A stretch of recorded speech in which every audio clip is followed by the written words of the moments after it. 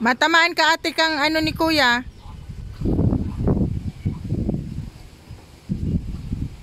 Kanina suka ng suka yan si kuya. Nawala ng pagpangsungkit ng buko. Akala ko meron silang ano, pangkuha. Pero wala pala. Ganyan pala ang style. My goodness.